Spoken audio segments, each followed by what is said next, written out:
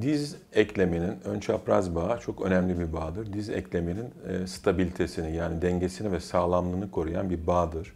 Ve ön çapraz bağ kopmaları genellikle e, uygunsuz zeminde ya da uygunsuz ekipmanlarla spor yapanlarda çok sık karşımıza çıkıyor.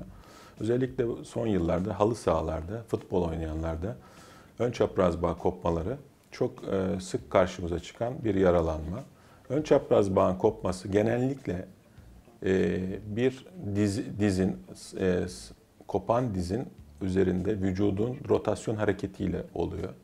Ve o bütün vücudun hareketi ve dönmesiyle e, dizi, dize binen yüklerle diz öne doğru kayıp e, bağı koparıyor.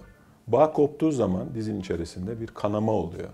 Ve diz birdenbire şişiyor ve çok ciddi bir ağrı oluyor. Ayrıca bağ koptuğu zaman diz öne kaydığı için dizin içindeki kıkırdaklar da eziliyorlar ve ciddi bir ağrıya sebep oluyor ve hasta dizinde bir şeyin koptuğunu mutlaka hissediyor ve onu kulakla bile duyabiliyorsunuz bir şeyin koptuğunu.